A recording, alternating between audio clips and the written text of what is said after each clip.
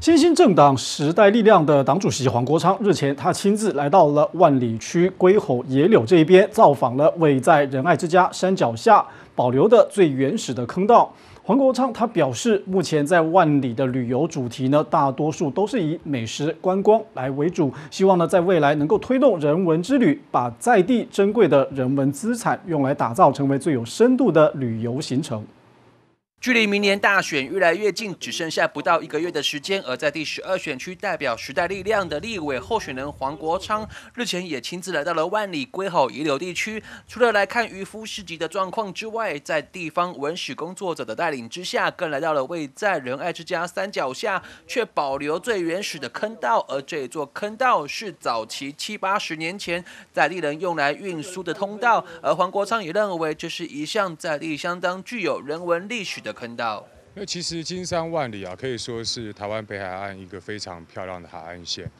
有不仅有非常好的自然生态的资源，那同时如果跟台湾过去的历史结合起来，也有份很丰厚的文化资产。那目前金山万里这个地方，就商业性的观光而言啊，目前事实上虽然看起来外来的游客非常的多，但是可能整体感觉起来是一种比较浅层、比较商业性。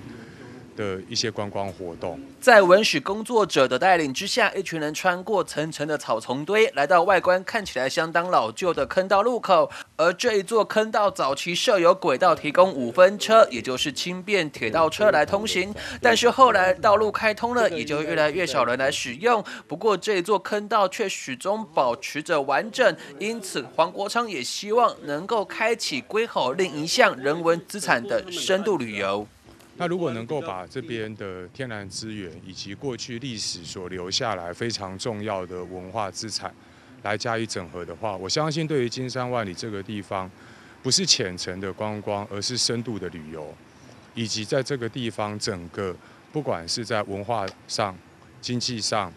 以及在整个生态保护上面的效益，都可以进一步的发挥到最大。立委黄国昌表示，就目前看来，以万里龟吼与野柳一带的观光来说，大多属于商业型、比较浅层的观光性质，因此也希望未来能够善用在地的观光资源与历史资产，来凸显早期在地人的人文内涵，将游客带进更深层的旅游。记者许端义万里采访报道。